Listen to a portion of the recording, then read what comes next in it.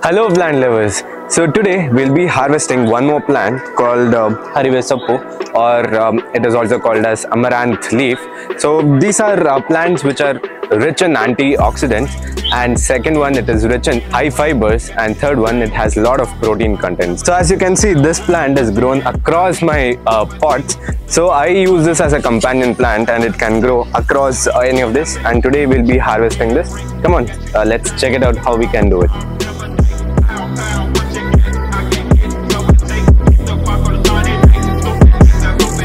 So this is just in one pot. I'll be collecting across the pots and I'll be showing it to you how it will look at the end.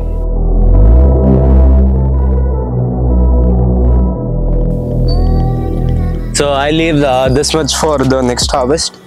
Uh, I have few more tubs to be covered. I'll do that for the next one. But yeah, this is how much uh, we can grow in our own terrace. All of this can be used now. So we'll be using it today. That's how you can grow all these plants in your own terrace, balcony or in your own terrace. And for more such content, do not forget to follow Biotechmaali. Thank you so much guys.